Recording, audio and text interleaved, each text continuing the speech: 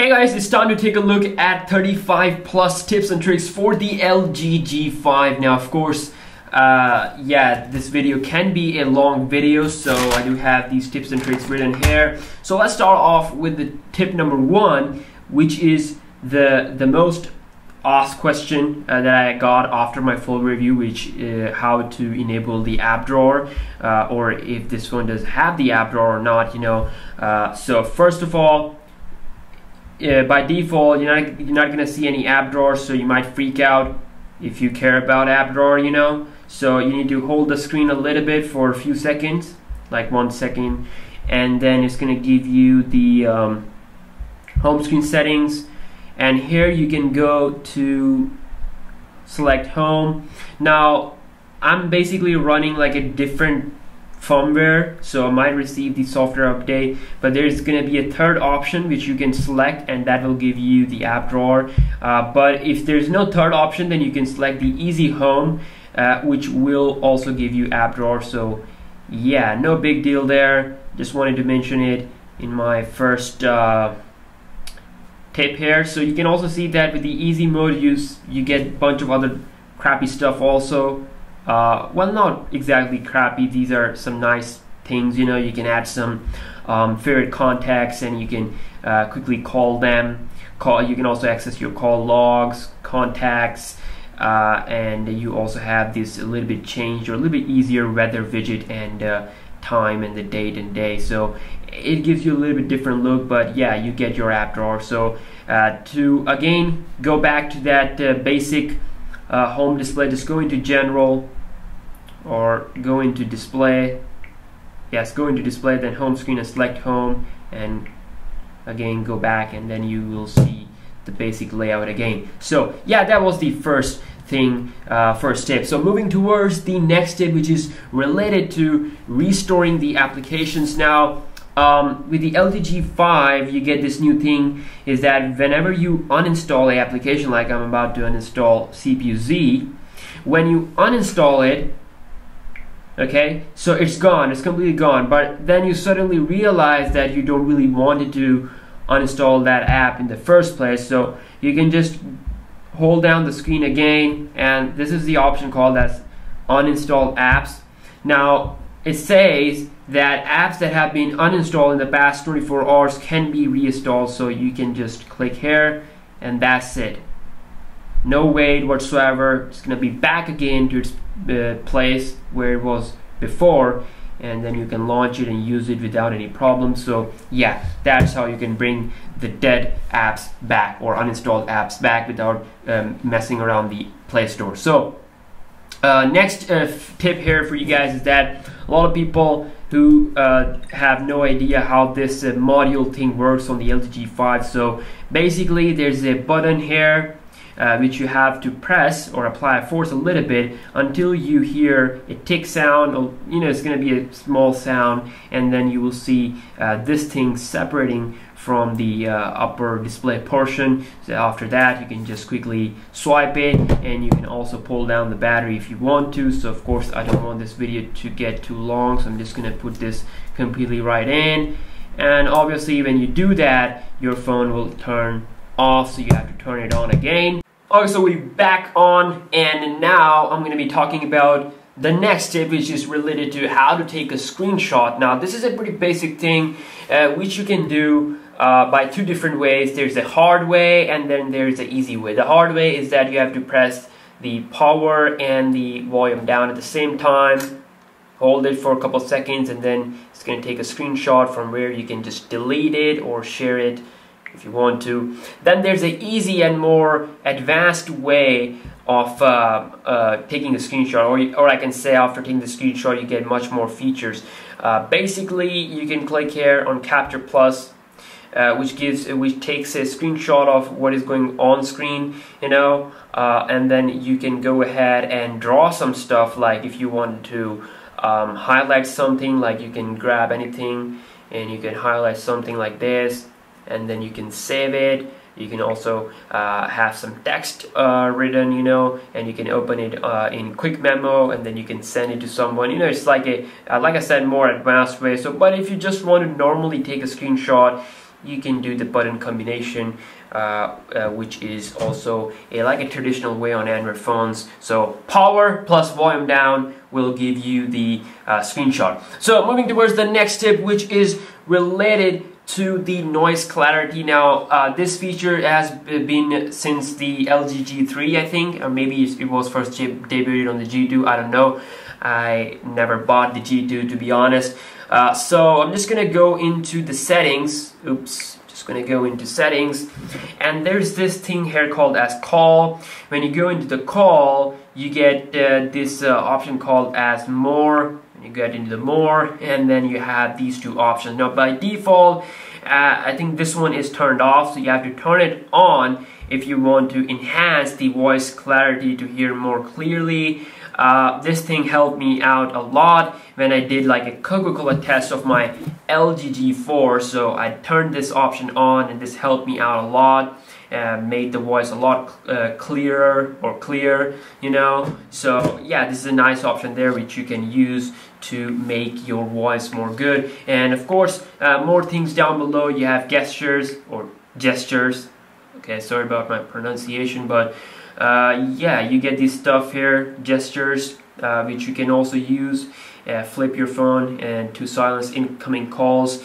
And what else? You also get some things where you can check the call duration all that. You can save unknown numbers. So tons of stuff down there so I'm gonna just give you the best and the highlighting or the uh, the best tips and tricks you know what I like overall. Uh, moving towards the next tip which is related to themes now this phone does comes with a uh, with its own theme engine. So obviously I actually forgot my LG uh, account password or you know uh, so that's why I can't show you themes but if you go into theme by default we have only one theme which is the LG theme but you can have more themes by going into their store LG Smart World so uh, lots of free themes available that you can use. However it's not quite as much good experience as the Samsung's theme engine you know? They have a lot of themes almost all of them are free, of course. So yeah, and we also get themes for like always on mode. Yeah, so definitely uh, the smart world you should sign in so that you can get benefit from that all those theme stuff. Moving towards the next tip, which is related to the memory or the memory, uh, RAM memory, whatever you call it. So there is a uh, folder on your desktop or on your home screen if I just quickly show you. It's called as management, okay? Uh, when you are in this management folder, you have to click here into memory box or memory app.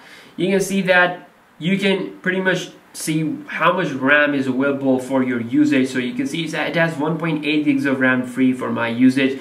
50% is already consumed, so and total is 3.7 gigabyte and also shows you the current status of your RAM which is set to normal. And you can even see which app is using your RAM. So and uh, you can see uh, based on the usage this is my current RAM stats. I can also see uh, of more RAM stats. And I can also uh, swipe down below see more and more apps and if you click here you can also sort these by max usage. So by max usage Chrome is the is the has it has used the maximum memory usage you know 1.2 gigs. Then comes the Android OS so there you go. All those Chrome lovers. Uh, so yeah you can see you can see some stuff that uh, most of the time that's hidden. So which you can easily access by going to the management folder then going to memory apps so yeah that's pretty cool alright so moving towards the next tip which is probably one of my favorite here is if you go into let's see here if I go down it's uh, in the notification section you can see it says notification LED now if you go inside of it you can disable this notification LED if you want to because in order to conserve more battery. I don't know if that's going to affect by 1%, person, 2%. I never tried it, but you can see here that for, uh, in the notification LED section, you can see the incoming call. It's going to give the green light for missed call, again green light for low battery.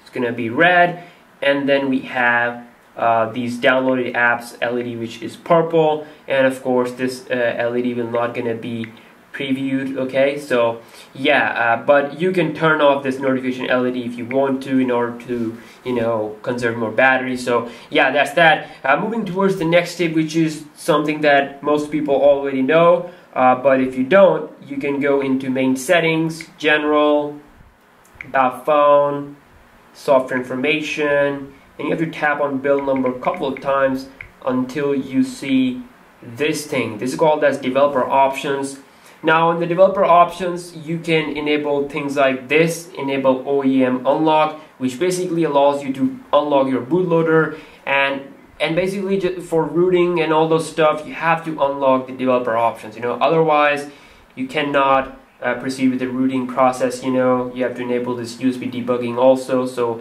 yeah, it's it's a pretty important step for rooting for root junkies you know. Uh, moving towards the next tip which is related to those people who are pirate you know who who install applications from other sources you know sources other than the play store. Now for those people if you download app the by default android will block the installation.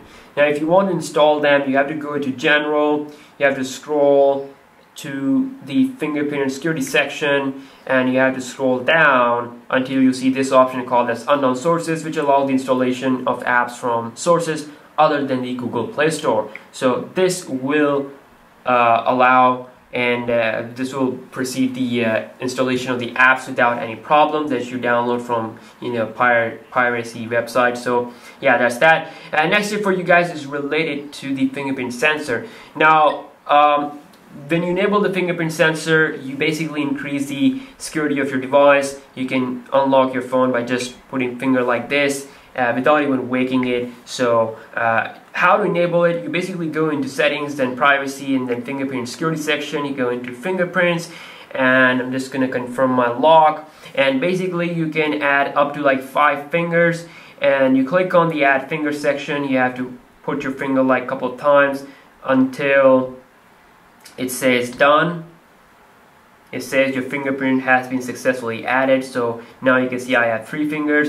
So I can't really see how much I can add up here but probably it's going to be around five because that's something that that is the number that we basically have on different phones Android phones. So you can also use this to lock the content like content in gallery where your photos are so you can make it more secure uh, and you can also log content in your Quick Memo Plus app uh, where you can you know have some specific personal information or whatever. So you want to do that you can do that by clicking this option on. So yeah I'm just gonna cancel it. I don't want to do it. So uh, moving towards the next tip which is related to the vibration. Now it has this phone has tons of different vibrations related options. So I'm just to show you if I go into settings sound and notification this is the vibration section. Now this is where you can see the vibration strength.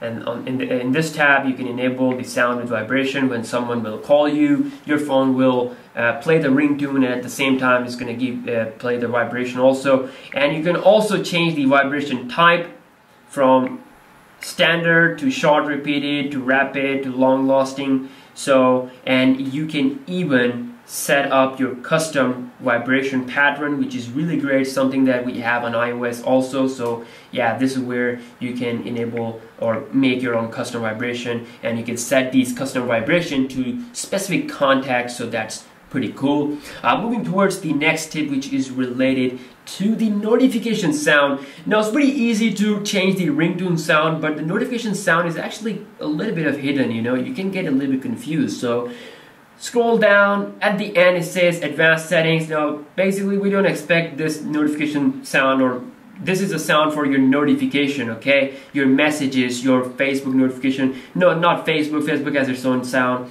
but some other notifications, maybe like Instagram. So you can go into notification sound and you can have different sounds there, a bunch of different sounds. You can even have some some of your own custom sounds like you can choose your music track or song track from your gallery or some specific uh, you know notification sound that you have downloaded from third-party apps. So it's gonna all appear there. So it's pretty cool uh, to have it but it's a little bit of hidden you know you have to go into more section there. So let's go back and move towards uh, the next tip. So I'm just gonna pull the page here and let's take a look. So we have another tip which is kind of like a pro tip, you know. You have to go into settings, scroll down, again go into developer options, which I showed you how to unlock in the first place. So uh, you go into the developer option, you have the option called as running services. Now in the running service section, you can pretty much see which app is running uh, in the background. Like you can see uh, Google Play Store, settings, com.qualcomm, you know, some scary stuff. So you get every single detail what is running in the background. Uh, you can also uh, see that uh, it shows you information about how much of uh, RAM is free. Again, some basic information. You can also see the cached process, which is basically something that you know your phone stores for temporary like if I go into Quick Memo Plus it says this is an old app process that is still running in the in case it's needed again so usually no reason to stop it but you can stop it if you want to because I'm not using Quick Memo Plus at the moment and you know this this might help you to increase more apps you can see it's now not showing up there. So yeah this this might be like some under the hood tricks there to unleash the power of your G5 you know? And uh, and yeah I thought about why not show you, you guys in this video. And uh, moving towards the next tip which is related to the always on mode. Now this is the always on mode okay and you can see some cool stuff. I can add my signature. I can also uh, write my channel name there. So this is my name. Uh, so I'm just gonna go into settings. And if I go into display you can see that we have this option called that's always on display going inside. Here you can uh, turn it off. Of course you can turn this one off like this. But if you turn it on you can basically set up things like what to show. You have the option to show time it's gonna appear like this or signature. I think signature is pretty cool because I have a watch okay? So I don't really like to see time on my phone so definitely this is this is better okay? Signature is better and and you can even change the fonts okay? So you can set some signature like I have this one my name Zaryab and then I can set up different um, uh, what you can call fonts. So click save. And uh, when I do this you can see it looks more cool. Okay Zaryab Saturday and then the, we have the day and the date and the month. So it's really nice always on display. And this is something that you can't really do on the S7 Edge as far as I have seen you know signature thing.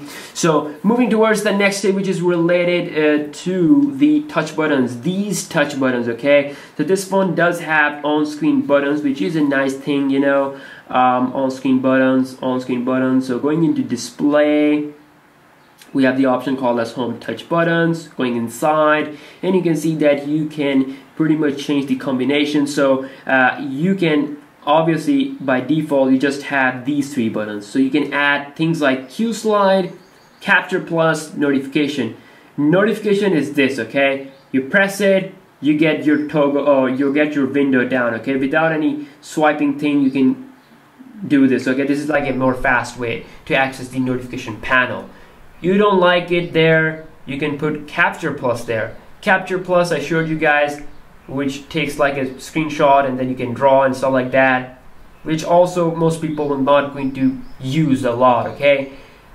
Then comes something that I have found pretty useful, which is called as Q Slide.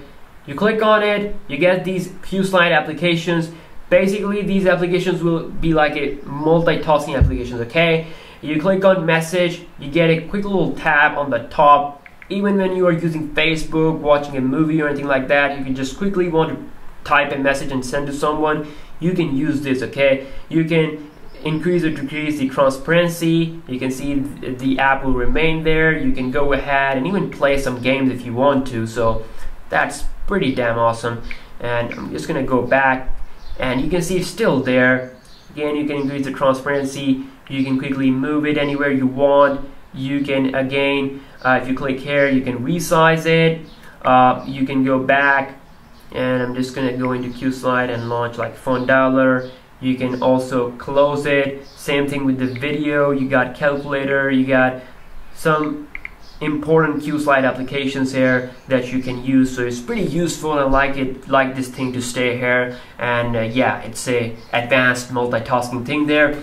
And another tip for you guys is how to hide these buttons. Now sometimes you play games we all play games on our phones okay?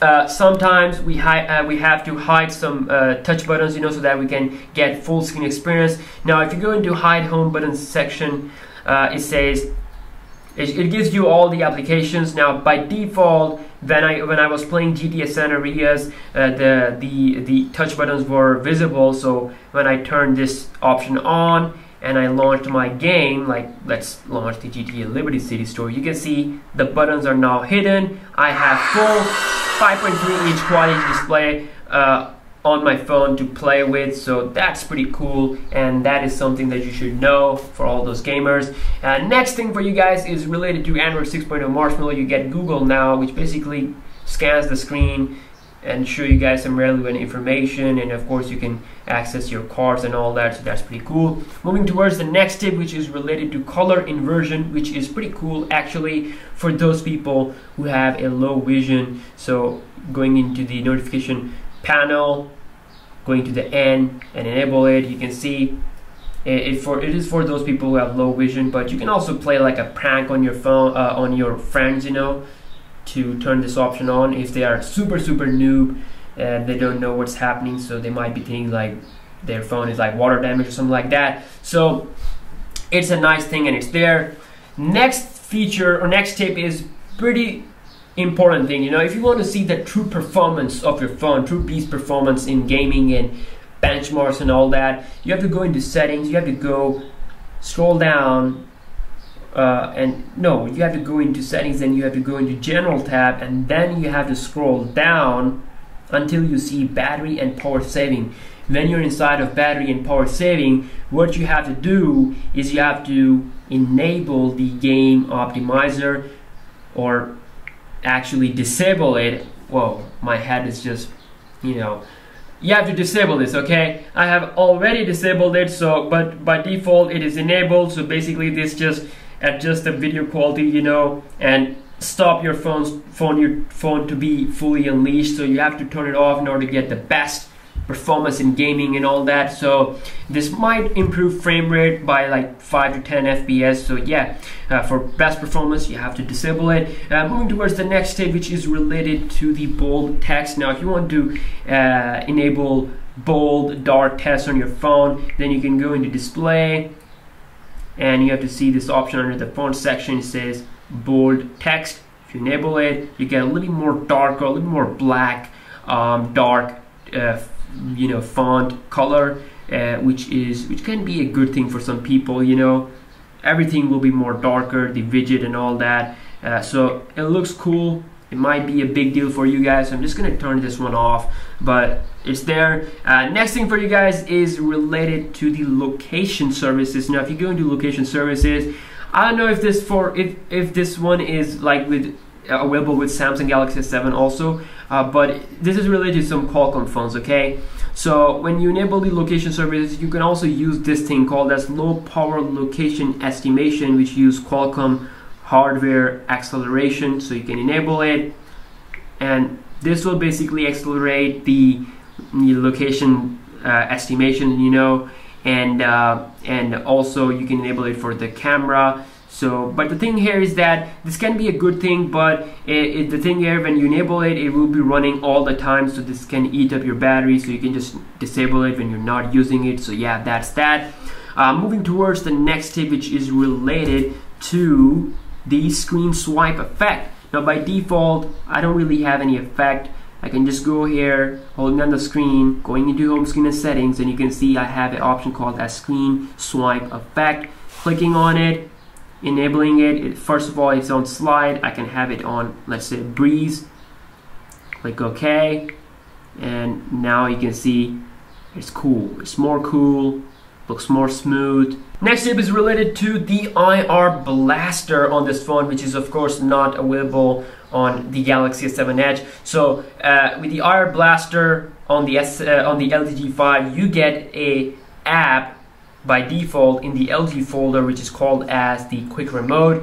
Now this will allow you to pretty much control your your TV, your set-top box, audio air conditioner, projector, and you can also use it as a universal remote, you know. So yeah, and you are not just bound to use this quick remote app. There's a, there are some tons of applications available in the Play Store. Some of them are paid, but they will give you much more options uh, and you can even control like every single air conditioner company you know air conditioner from different companies uh, that by default this app can't control. So you get much more options in a third party uh, remote app. So yeah that's there. And I really like the LG for doing this you know for having this IR blaster here. So uh, let's move towards the next tip which is uh, related to the contacts info. So when you go into settings, you go into display, you go into lock screen. Now here you have the option to, uh, of course, change the wallpaper. But other than that, all that BS, other than all this BS, you have a contact info information, you know, or setting for contact information. Now you can uh, set this thing always on lock screen, okay? Which means like whenever your phone gets stolen or let, us say if your phone gets uh, misplaced okay? You forgot your phone in a in a in a restaurant you can do this okay? You can do this as a security thing. You can type in your number whatever your number is. You can save it. You can lock your phone. And when you take a look at the lock screen okay just gonna take a look at the lock screen. You can see the number is always there right down below. So basically you can add your number, you can also add your email address. So like I said, if your phone get misplaced, this is a great thing.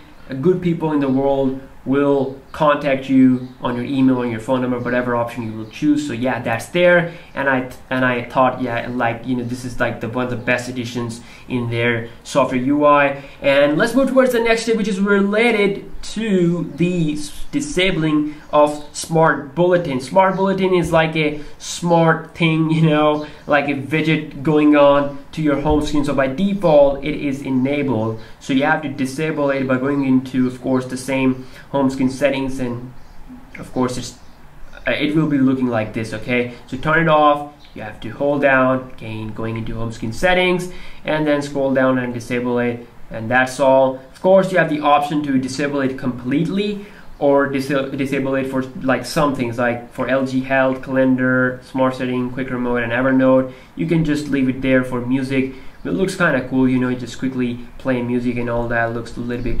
cool. So let's move towards the next thing which is related to the smart uh, or what you call sorting of applications. You can sort the applications in, in a true alphabetically order, uh, alphabetic order. You know, when you install applications, they will just scatter all over your home screen. This will not going to look good. So you have to go into the home screen settings. You have to see here in layout section, you have sort apps by you click on it you can sort them by download date or name. So if I do name and here we go. You get more of a organized app section so they're not gonna be wandering everywhere. So yeah that's pretty cool. Moving towards the next tip which is uh, related to the screen color. Now this is something that most people don't really know. You can actually tweak the screen of your LG G5 you have to go to general scroll down Okay, there we go. And here you can see we have these options. And uh, first off, we check out the vision settings. You get tons of options like talk back and message and call. Well, it's basically options for those people who have some kind of disability, dis disability, whatever you're gonna call it. And uh, and there's a one specific option called as screen color adjustment. Now you can adjust the screen colors according to your eyes. If the white, more white screen hurts your eyes, you can enable red green, which basically uh, turns the, turn, turn down the white tone a little bit. You can turn this one on blue yellow or you can even uh, tweak it manually if you want to like this. You can see that now it's going to be more greener. So uh, you can also make it more yellowish which gives you like a night shift type of thing. So yeah it's there and it's under the um, what you call accessibility settings. Uh, I'm going to go back and show you guys some more options in the accessibility section. We have the motor and cognition. Here you have a touch assistant. Now this is pretty cool because if you are using a LG G5, like if you are planning to use this phone for like two years and maybe if you uh, mess, mess up its uh, uh, volume rocker, you can actually use this uh, touch assistant feature which basically gives you this